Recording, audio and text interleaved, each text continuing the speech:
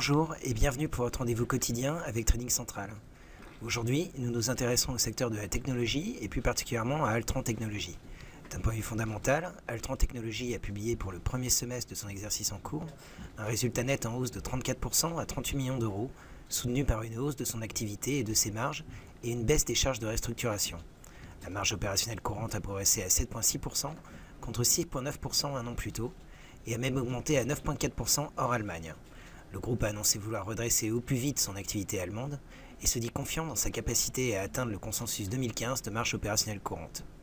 Graphiquement, le titre sort à la hausse d'une figure de consolidation en triangle en place depuis le 18 août dernier.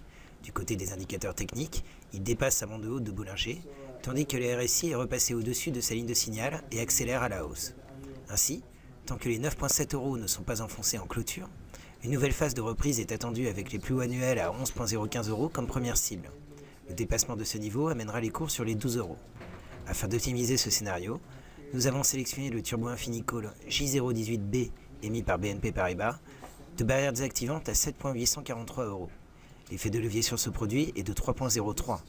En résumé, nos objectifs sur Altran Technologies se situent à 11,015 et 12 euros.